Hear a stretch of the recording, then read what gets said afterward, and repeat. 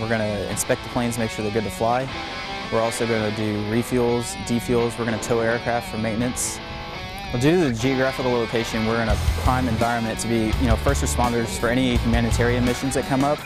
We're also going to provide support to the AOR, to Africa, and also all over Europe.